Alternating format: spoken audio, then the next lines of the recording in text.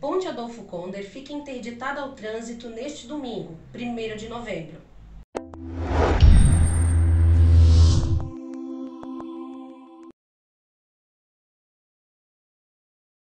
Para o prosseguimento da obra de duplicação da ponte Adolfo Conder, neste domingo, 1 de novembro, a ponte ficará interditada das 6 horas da manhã até o fim da tarde, conforme informação repassada pela Secretaria Municipal de Obras de Blumenau.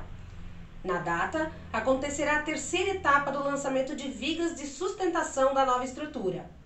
Para conduzir a operação, serão necessários dois guindastes, porque são cinco vigas de 25 metros pesando cerca de 50 toneladas cada. Ao todo, serão cinco etapas para o lançamento das vigas sobre os pilares. Passada essa fase, iniciam-se os trabalhos nas cabeceiras da nova estrutura. O investimento da Prefeitura na obra é de aproximadamente 8 milhões, com recursos financiados pelo Financiamento à Infraestrutura e ao Saneamento, o FINISA. A interdição estará sujeita às condições do tempo.